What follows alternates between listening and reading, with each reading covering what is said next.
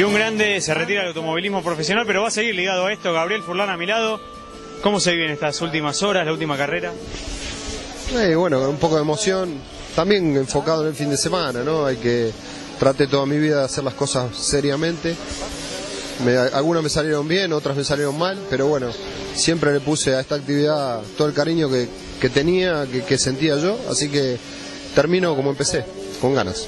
Se te ve muy cerca de tus afectos, que vienen, te dan su cariño también, la emoción en todos los que están alrededor tuyo, que también habla de lo que sos como persona. Mi familia se bancó esta actividad porque estar al lado de un piloto es bancarlo.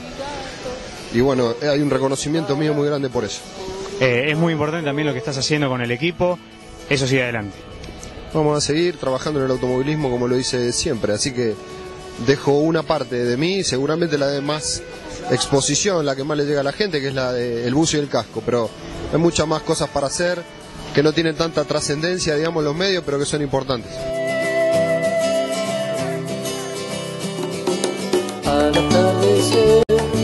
¿Cuáles son lo- los recuerdos que te vienen a la cabeza?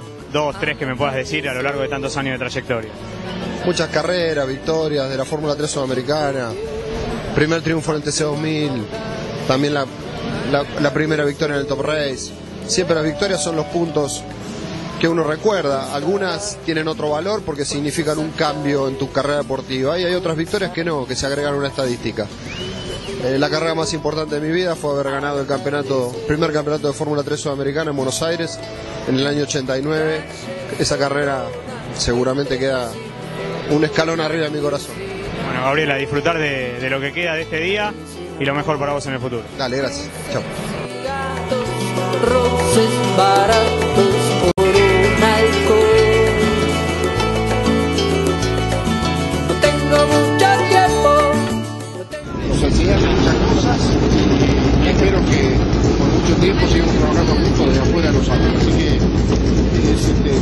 Este homenaje para vos y espero que nos acompañe largos años de esto.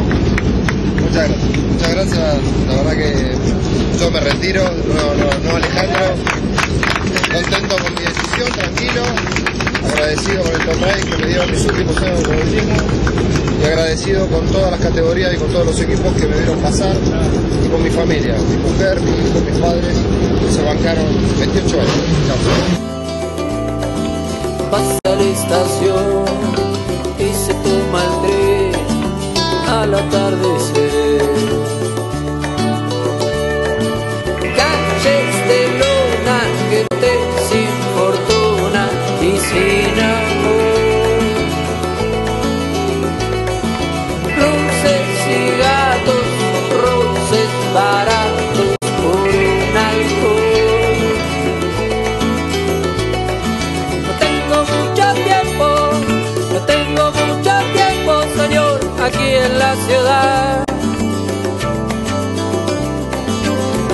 Mucho tiempo, no hace